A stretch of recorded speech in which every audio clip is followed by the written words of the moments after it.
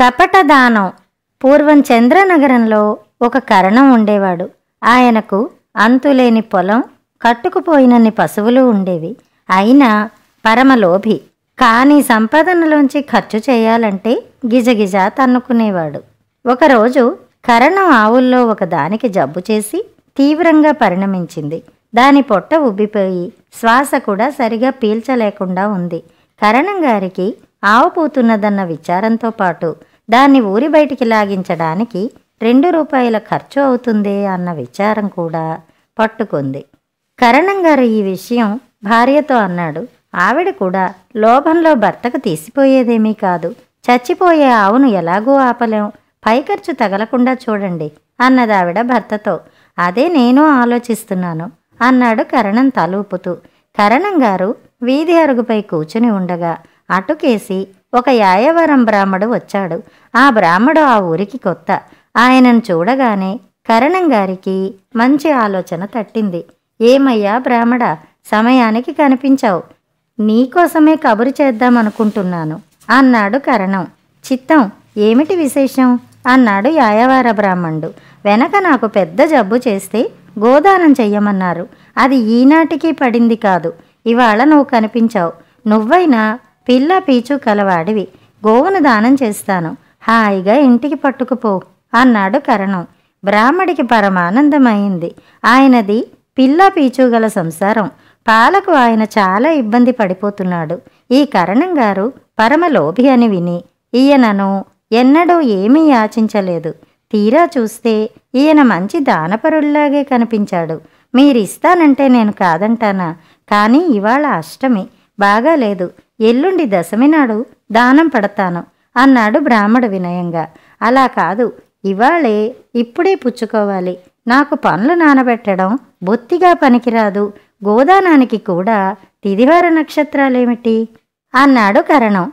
కాదు కూడదంటే కరణం ఆవును కాస్త మరొకరి చేతిలో పెట్టేసి పోతాడని యాయవారం బ్రాహ్మడు మంచి రోజు కాకపోయినా గోదానం పుచ్చుకోవటానికి సిద్ధమయ్యాడు.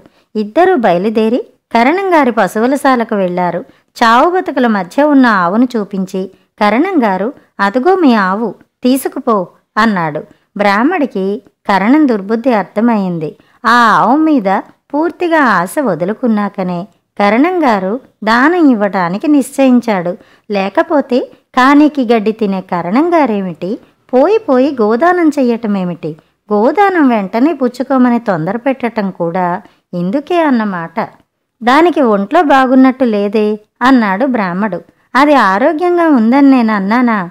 నేను దానమిద్దాం అనుకున్నది ఇదే. జబ్బుగా ఉన్నా చచ్చినా అది నీదే. నీకు దానం ఇచ్చేశాను. నాకిక దీని పూచి ఏమీ లేదు అన్నాడు కరణం గారు మీ చిత్తం నా భాగ్యం. ఎవరి అదృష్టానికి ఎవరు కర్తలు? నా ఆవును నేను పట్టుకుపోతాను. ఒక్క క్షణం ఆగండి అంటూ యాయవార బ్రాహ్మడు దొడ్లోకి వెళ్ళి ఏదో ఆకు కోసం వెతకసాగాడు. ఈ బ్రాహ్మడి తండ్రి గొప్ప పశువైద్యుడు. ఇతనికి కూడా కొన్ని మెలికలు తెలుసు. అతను కొద్దిసేపట్లోనే ఒక మొక్కను పట్టి దాని ఆకులు కోసి తెచ్చి వాటి రసం ఆవు ముక్కుల్లో పిండాడు. వెంటనే ఆవు పెద్దగా తుమ్మింది. దాని గొంతులో నుంచి కపం తాటికాయ ప్రమాణంలో తెగిపడింది. ఆవు లేచి నిలుచున్నది. కరణం గారి పై ప్రాణం పైనే పోయినంత పని అయింది. ఒక రూపాయి డబ్బులు ఖర్చయినా ఆ మాత్రం వైద్యం చేయించుకుంటే తన ఆవు తనకే ఉండేది కదా అని విచారించాడు. బ్రాహ్మడు సంతోషంతో ఆవు మెండున్న పలుపు చేత పట్టుకుని కరణం గారి దగ్గర సెలవు పుచ్చుకుని దానిని ఇంటికి తోలుకుపోయాడు. అయ్యో నిక్షేపమంటే ఆవును నిష్కారణంగా యాయవార బ్రాహ్మడి పాలు చేశామే అన్నాడు కరణం గారు తన భార్యతో. ఇద్దరూ కలిసి చాలాసేపు కంటికి మంటికి ఏకధారగా ఏడ్చారు. కథ సమాప్తం. దయ్యం వదిలింది. వాగులపల్లిలో కాపురం ఉంటున్న రైతు రాములకు తిమ్మాపురంలో నివసించే రైతు సింహాద్రి తోడల్లుడవుతాడు. ఇద్దరు సన్నకారు రైతులే అయినా సింహాద్రి అనుభవజ్ఞులను సంప్రదిస్తూ చక్కగా తన పొలాన్ని కాపాడుకుంటూ వ్యవసాయం చేసేవాడు. వ్యవసాయానికి సంబంధించిన ఏ కొత్త విషయం తెలిసినా సింహాద్రి తన పొలంలో అమలు జరిపి ఎక్కువ దిగుబడిని పొందడమే కాక తనకు లాభాన్ని తెచ్చిపెట్టిన అంశాలను తోటి రైతులతో చర్చిస్తూ వాళ్ళు కూడా వ్యవసాయంలో ఎదగడానికి సహాయం చేస్తుండేవాడు. దీంతో రైతుగానే కాకుండా సమాజంలోనూ అతని స్థాయి పెరుగుతూ వచ్చింది. రాముల స్వభావం దీనికి పూర్తిగా వ్యతిరేకం. తనకు దిగుబడి బాగా వచ్చినప్పుడు అది ఏ కారణంగా వచ్చిందో ఎవరికీ చెప్పేవాడు కాడు. అలాగని ఏదైనా తెగులు సోకి పంట పాడైపోతున్నప్పుడు కూడా ఇతర రైతులను హెచ్చరించేవాడు కాదు. దాంతో అందరి పైర్లకు బాగా నష్టం కలిగేది. రాములు ఎంత కష్టపడినా సింహాద్రి స్థాయి ఎప్పుడూ అంతకు మించే ఉండేది. అందువల్ల రాములకి సింహాద్రిని చూస్తే ఎంతో అసూయగా ఉండేది.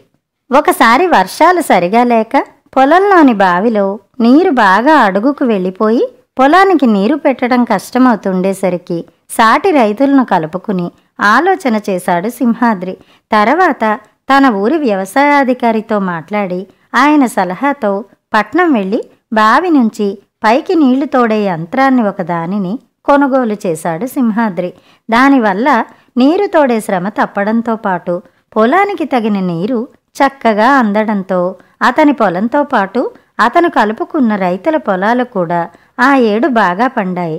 ఆ తర్వాత సింహాద్రి సలహాతో ఆ ఊళ్ళోని మరికొంతమంది రైతులు కూడా జట్లుగా ఏర్పడి ఉమ్మడిగా అలాంటి యంత్రాలను కొనుక్కుని లాభపడ్డారు. రాములకి ఈ విషయం ఆలస్యంగా తెలిసింది. అదీ కాక అతని బావిలో నీరు కూడా ఆ సంవత్సరం చాలా లోతుకు పోయింది. తను కూడా పొలంలో అలాంటి నీళ్ళు తోడే యంత్రాన్ని పెట్టుకోవాలనుకున్నాడు. అయితే అతనికి నలుగురిని కలుపుకోవటం ఏమాత్రం ఇష్టం లేదు. అలాగని తన దగ్గర కూడా తగినంత డబ్బు లేకపోవటంతో తప్పని స్థితిలో ఊళ్ళోని వరాల శెట్టి దగ్గర అప్పు తీసుకున్నాడు. ఈసారి నా పొలం విరగపండితే ఈ అప్పు మొత్తం తీర్చడం ఎంత పని అని కూడా అనుకున్నాడు రాములు. తను నీళ్ళు తోడే యంత్రం కొంటున్న విషయం తోడల్లుడికి తెలియటం రాములకి ఇష్టం లేకపోయింది. అలాగని పక్క ఊళ్ళో ఆ యంత్రాలను కొనుక్కున్న వాళ్ళ సాయం తీసుకుందామన్నా వాళ్ళు సింహాద్రికి చెప్పేస్తారని ఆలోచించి చివరకు తనే పట్నం బయలుదేరాడు. అక్కడ నీరు తోడే యంత్రాల గురించి వాకబు చేస్తుంటే అతని వాలకం కనిపెట్టిన మనిషి ఒకడు రాములకి ఇటువంటి కొనుగోలులో ఎటువంటి అనుభవం లేదని కనిపెట్టేశాడు. తాను మంచి యంత్రాన్ని కొనిపిస్తానని నమ్మబలికి తనకు ఏదైనా వస్తువు ఆమె పెడితే డబ్బు ముట్ట చెప్పే వర్తకుని దగ్గరికి తీసుకెళ్ళి రాముల చేత నాసిరకం యంత్రాన్ని కొనిపించి వెళ్ళిపోయాడు. తర్వాత చల్లగా మళ్ళీ వెళ్ళి తనకు రావలసిన డబ్బును వర్తకుని దగ్గర వసూలు చేసుకున్నాడు. తానొకటి తలిస్తే దైవం ఒకటి తలిచాడన్నట్లు తయారైంది రాముల పరిస్థితి. నీళ్ళు తోడే యంత్రం సాయంతో లాభాలు గడిద్దామనుకున్న రాములకు ప్రాణం విసిగెత్తిపోయింది. ఎందుకంటే నెల నెల యంత్రానికి పోసే చమురు ఖర్చు రాను రాను ఎక్కువ కాసాగింది. నిజానికి ఆ ఖర్చుతో పది మంది కూలీలను పెట్టుకుని నీళ్ళు తోడించుకోవచ్చును. తన తోడల్లుడి కంటే ఈ ఏడాది ఎక్కువ దిగుబడి సాధించి తన గొప్ప చూపించాలనుకుంటే ఇలా అయిందేమిటి దేవుడా అనుకుంటూ ఏం చేయాలో పాలుపోని రాములు పొలం గట్టు మీద నిలబడి దీనంగా చూస్తున్నాడు. అది చూసిన ఎల్లన్న అనే రైతు రాములతో మాట్లాడి విషయం రాబట్టాడు. మీ తోడల్లుడు ఊళ్ళో కొన్నవన్నీ బాగానే పనిచేస్తున్నాయి కదా మావా. నీదొక్కటి పని చేయడం లేదంటే దీనికి దెయ్యం పట్టిందేమో. రక్తం తాగినట్టు చమురు తాగేస్తోంది. పోని గణాచారి చేత తాయెత్త కట్టించి చూడు అని సలహా ఇచ్చాడు. రాములకి ఇప్పుడు ఇంకో దిగులు పట్టుకుంది. తన పొలంలో దెయ్యం ఉందని తెలిస్తే తక్కిన పొలం పనులకు పనివాళ్ళు రారు. దానితో ఏటా పండే గింజలు కూడా రాలకపోతే తన బ్రతుకేంగాను అందుకే ఊళ్ళోని గణాచారిని బతిమాలి. చాటుగా తీసుకొచ్చి ఒకరోజు రాత్రిపూట తన పొలంలో నీటి యంత్రానికి పూజ చేయించి తాయెత్తు కట్టించాడు. గణాచారి అందుకు రాముల దగ్గర నుండి బాగానే డబ్బులు వసూలు చేశాడు. ఇంత చేసినా రాములకి ఫలితం లేకపోయింది. తాయెత్తు దారి తాయెత్తుదే అయింది. నీటి యంత్రం యథాప్రకారం చమురు తాగుతూనే ఉంది. పైగా ఆ నోట ఈ నోట ఈ కబురు కూలీలకు తెలిసిపోయి వాళ్ళు భయపడి పొలం పనులకు రావడం మానుకున్నారు. దాంతో రాములు మంచం పట్టలేదు తప్ప బాగా కుంచుకుపోయినట్టు అయిపోయాడు. ఇంతలో ఒకరోజు అనుకోకుండా వాగులాపల్లిలోని గ్రామాధికారితో పనుండి ఆ ఊరు వచ్చిన సింహాద్రి ఆ పని పూర్తయ్యాక తోడల్లుణ్ణి చూసేందుకు రాములింటికి వచ్చాడు. రాములు ఏమీ చెప్పకపోయినా పొలానికి వెళ్ళగానే లోపం ఎక్కడుందో అతనికి విషయం అర్థమైంది. అన్నగారు మీరేమీ అనుకోనంటే ఒక విషయం చెప్తాను వినండి. ఏదైనా కొత్త వస్తువు కొనేటప్పుడు నలుగురిని సంప్రదించి కొంటే దాని మంచి చెడ్డలు తెలుస్తాయి. నిజానికి మీ నీళ్ళు తోడే యంత్రం పనిచేయకపోవటానికి కారణం దెయ్యం పట్టడం కానే కాదు. అది నాసిరకంది. మరో ముఖ్యమైన విషయం ఏమిటంటే మీరు యంత్రానికి సంబంధించిన గొట్టాన్ని బావిలోని నీటి మట్టం కంటే చాలా ఎక్కువ ఎత్తులో పెట్టించారు. అందుకే ఎక్కువ చమురు తాగుతోంది. దాని ఎత్తును సరిచేస్తే మీ సమస్య తీరుతుంది. రాములకు అర్థమైంది. దెయ్యం పట్టింది తన నీటి యంత్రానికి కాదు. తనకే అసూయ అనే దెయ్యం పట్టింది. తను సింహాద్రి మీద అసూయపడి అతనికంటే ఎత్తుకు ఎదగాలనే దుగ్ధతో తప్పుదోవలో నడిచినా అది ఏమీ పట్టించుకోకుండా తన సమస్య తీరేందుకు పరిష్కారం చెప్పిన తోడలుడి మంచి మనసుకు కృతజ్ఞతలు అర్పిస్తూ తల వంచుకున్నాడు. ఆ తర్వాత రాములు కూడా సింహాద్రి బాటలోనే నడిచి నలుగురి చేత మంచి అనిపించుకోవడమే కాకుండా మంచి దిగుబడులు కూడా సాధించాడు. కథలు కంచికి మనం ఇంటికి.